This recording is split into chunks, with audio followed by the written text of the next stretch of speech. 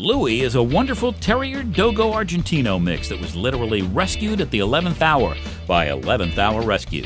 Louie was stuck in a high kill shelter where his time was up, and with moments to spare, 11th Hour Rescue went and got him and gave this friendly, happy, gentle giant a chance at a new life.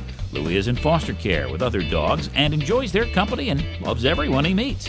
Louie is crate trained, housebroken, good with kids, obedient, and eager to please. We're so thrilled he's getting the chance at a great life. Are you a big dog lover looking for a gentle giant that will hang by your side? Louie is waiting for you. Adopt Louie.